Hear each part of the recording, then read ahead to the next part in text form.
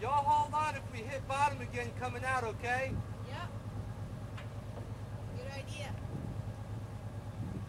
Austin, be ready to get thrown when we hit the bottom. Okay. I don't think we'll hit it high tide, but we hit so hard.